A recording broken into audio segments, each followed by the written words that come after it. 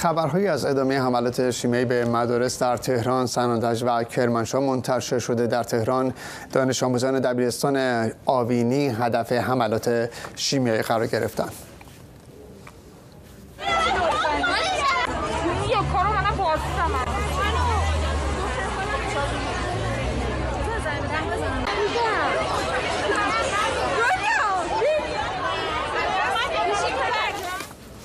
در گزارش هایی که از سنندج منتشر شده دو مدرسه دبیرستان های دخترانه نیایش و مستوری اردلان هدف حملات شیمیایی قرار گرفته. تصاویری که از مدرسه دخترانه نیایش در سنندج منتشر شده نشون میده که حال برخی از دانش آموزان وخیم بوده.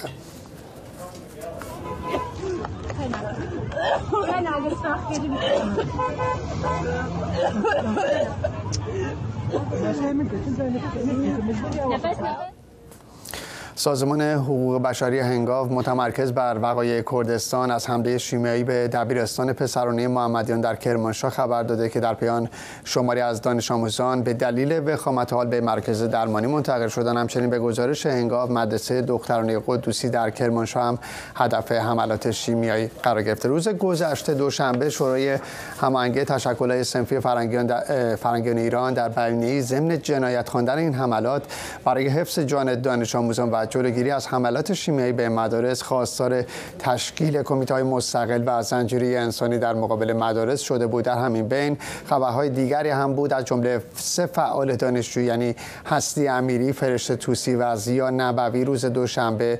در پی اعتراضات مسالمت آمیز دانشجویان که پیشتر به مسئولیت سریالی دانش آموزان بوده به اتهام تبلیغ علیه نظام به دادسرا فراخوانده شدن و برای اونها قرار کفالت صادر شد. مقامات جمهوری اسلامی تاکنون اقدام موثری برای برخورد با عاملان این حملات انجام ندادند و به عواملی چون شیطنت دانش آموزان دخالت خارجی و ماجراجویی چند تن اشاره کردن مقامات از رسانه هم خواستن که به جای واژه مسمومیت از عبارت بدحالی برای دانش آموزان استفاده کنند.